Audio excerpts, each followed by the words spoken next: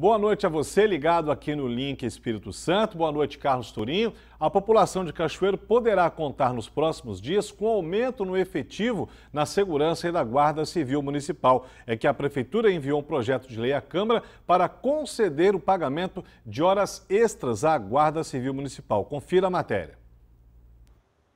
A Prefeitura de Cachoeiro de Itapemirim criou o projeto de lei que concede gratificação à Guarda Municipal em regime de escala extra, sem ter que contratar novos guardas para as ruas. Com esse ajuste, 18 guardas atuarão em regime de hora extra até 6 horas, como prevê a lei. Para o secretário de Segurança, um grande avanço na atuação do órgão. O guarda ele vai trabalhar 40 horas na semana, mais 6 horas vai trabalhar 46 horas. Essas 6 horas a mais, o município vai pagar essas horas a mais dele.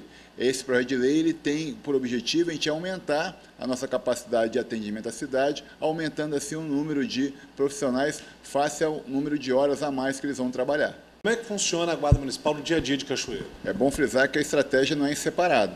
A estratégia tem que ser em conjunto, né? até porque nós temos que fazer esses alinhamentos. É, nós temos trabalhado, né, assim, dentro do, da medida que a Polícia Militar tem aumentado a sua participação né, no policiamento da cidade, nós temos trabalhado em conjunto para poder acertar as nossas estratégias juntamente com a Polícia Militar.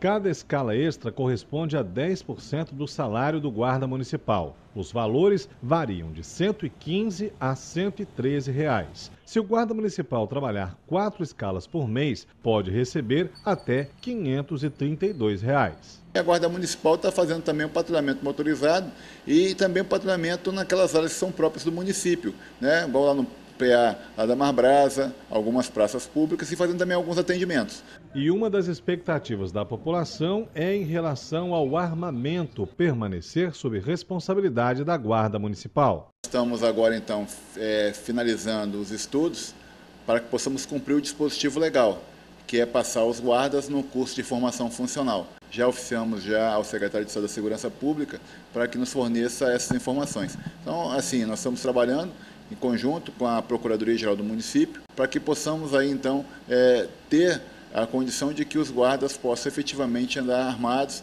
cumprindo aquilo que a lei prevê. Bom, Torinho, esse foi o destaque de hoje aqui de Cachoeiro de Itapemirim. Voltamos à vitória com você. Boa noite e até amanhã.